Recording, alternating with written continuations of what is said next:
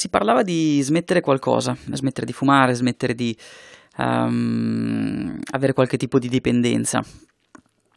E è un problema, è un problema per me, per tutti. Um, però, per esempio, ci sono dei casi in cui riusciamo a raggiungere un obiettivo. Nel mio caso, per esempio, sono riuscito a smettere di fumare. E, ehm, e quindi, vabbè, poi dopo nel libro vedi che ho, ho raccontato un po' la storia e quant'altro.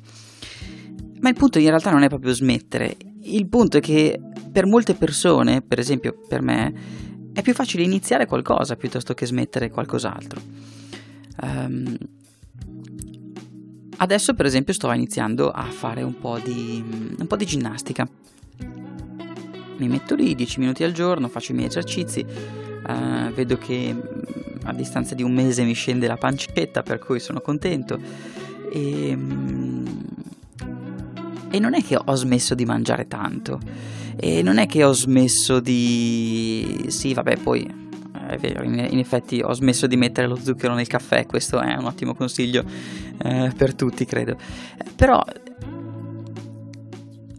smettere di fare un piccolo dettaglio della propria vita eh, ce la puoi fare. Io penso che tu ce la possa fare esattamente come ce la faccio io.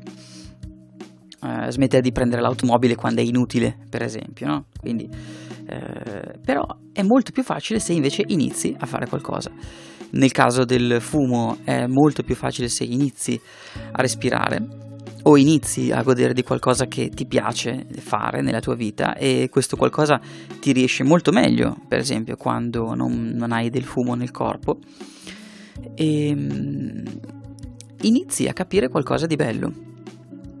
E così, anche dal punto di vista degli esercizi fisici, nel mio caso, inizio a fare qualche esercizio e piano piano, non subito in realtà, ma piano piano, adesso devo dire sono al ventesimo giorno giù di lì, e senti che il corpo risponde, senti che il corpo sta un pochino meglio e uh, ti senti un po' più vivo, ecco questa è la cosa, la cosa bella.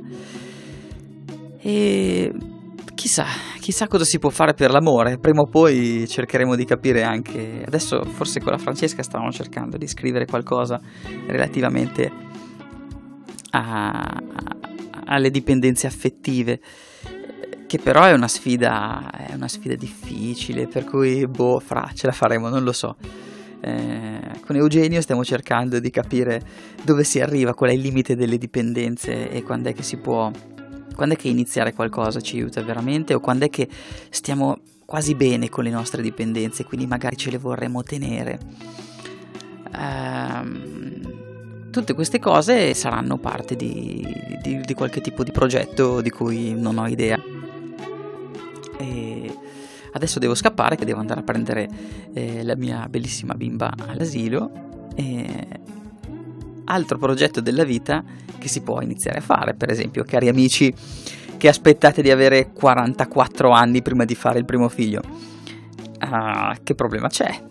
Insomma, eh, iniziate un progetto nuovo della nostra vita, un vostro progetto un po' pazzo, perché bisogna essere un po' pazzi per fare dei bambini in questo secolo. E però, insomma, Cosa vuoi che ti dica, caro amico di internet?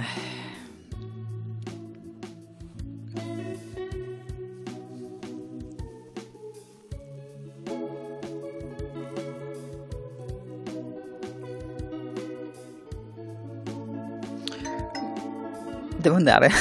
basta, basta, stacca lì e via. Inizia a fare qualcosa. Inizia anche tu a fare qualcosa oggi. Adesso, dopo che hai visto il video, inizia a fare una cosa nuova. Um, ci sono delle app fantastiche che ti aiutano a iniziare e a tenere traccia soprattutto di quando stai iniziando una cosa, perché le cose che inizi non iniziano all'istante, um, iniziano con un processo che tipicamente dura almeno 30 giorni, uh, dopo dei quali si dice che l'abitudine comincia a radicarsi.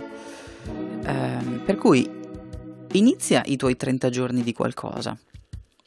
Ecco, questo potrebbe essere una, una buona cosa concreta per il nostro, um, per il nostro progetto. Dove andrà il nostro progetto? Dove andrai tu? Dove andrò io? non lo sappiamo, non ne abbiamo la più pallida idea. E, ehm, però lo dobbiamo fare con coraggio, lo dobbiamo fare per il bene che vuoi a te stesso, per il bene che io voglio a me stesso, per il bene che vogliamo al mondo, forse, se ne vogliamo anche solo un pochino. E, e, per lasciare qualcosa di bello agli altri, che io penso che sia una delle soddisfazioni che, che meritano. Che meritano. Bene, detto questo, ehm, scusa questo video un po' confusionario, ma forse magari non è neanche tanto confusionario, non lo so. Spero che tu ne abbia tratto qualcosa di interessante. Um, giù nella description trovi un po' di link di cose che ti ho detto. E, um, compresa l'app bellissima che sto usando, ragazzi, su Android. Si chiama Loop. Uh, gratis, bellissima, senza pubblicità. Fantastica, fantastica. E oh, oh, pare che questo sia un videoblog. Mi dicono, mi dicono che questo è un videoblog, quindi adesso muoviamo il mouse per spegnere il videoblog. Ciao ragazzi, ciao al videoblog.